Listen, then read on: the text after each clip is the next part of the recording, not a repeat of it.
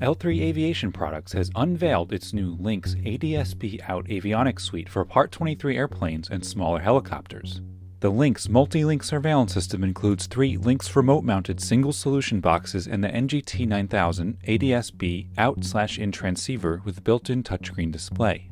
L3 Chief Pilot Todd Skolton gave AIN TV a demonstration of the NGT 9000 Plus with Wi Fi in the company's Bonanza aircraft at Hawthorne Airport in California. So, the NGT 9000 Plus, which we have installed in this aircraft, really is an all in one single box that does the 1090 ADSB in and out, UAT, just 978 in and out, has its own internal um, WAAS compliant GPS and so it, it, really is a natural choice for the operator that wants to be compliant. No altitude restriction that covers the altitude aircraft that fly 18,000 feet above. It's also good for the aircraft that fly below 18,000. So it really is a logical choice uh, for the operator that needs to be uh, wants to become ADSB compliant to meet the 2020 mandate. And we're doing a ground demo that will show uh, a little bit of the features, but on the left side of the screen we have your basic transponder functions. Um, punch in a transponder code, simple as that. Back to a VFR squawk. Once we've input uh, our desired uh, transponder code, we can swipe over and have our traffic page and activate our traffic on the ground here so we can see what's out there. Zoom out, we'll see that uh, we're in LA, there's a lot of traffic, a mix of uh, TAS traffic and ADSB traffic. On the right side of the screen is our radar page and our airplane symbols that as we receive the FISB data, the colors will uh, fill in based on the uh, METARs. It's VFR today, so we'll see the, uh, the VFR colors come in here uh, in a couple of minutes. Take a look at this airport here. METARs come up.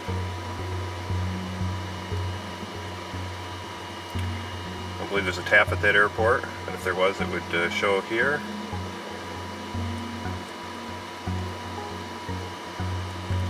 Also NOTAMs. No NOTAMs are available. It could be that the data has not come in yet. There's an AirMet there for turbulence.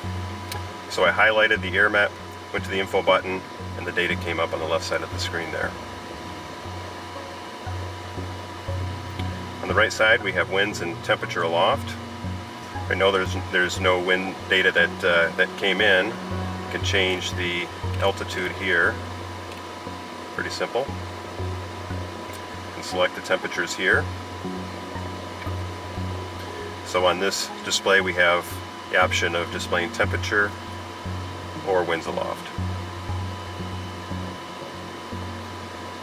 And on the last page is all our text information. You can program favorite airports in.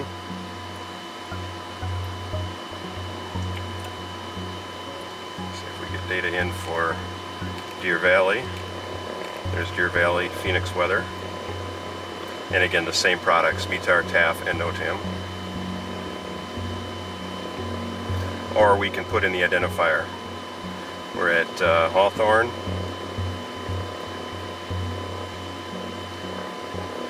and there's the METAR for Hawthorne. And that's a quick overview. We do have some setting options here. Pilot can decide uh, what products he'd like displayed on the map. Declutter feature. Each one of the products can be scaled up or down based on uh, the distance that they would like to see that displayed. So that's uh, pilot selectable. This is a 1090 Mode S ES transponder, 1090 in and out, ADSB. 978 UAT in, so you get the benefit of the, uh, the traffic and the weather.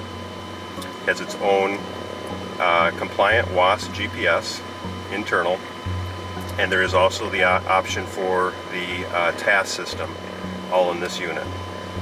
There's no remote boxes. We do need a uh, WAAS GPS antenna. Typically, we can reuse the uh, L-band antenna for the UAT and the transponder function. If TAS is enabled, uh, we do need a directional antenna on the aircraft. And that directional antenna can uh, work as the diversity antenna if uh, diversity is um, is desired with the units. The Wi Fi module wired to the NGT 9000 allows connection to the Wing X Pro 7 app running on a tablet device. This allows viewing traffic and weather data on a larger screen and can also be useful for passengers.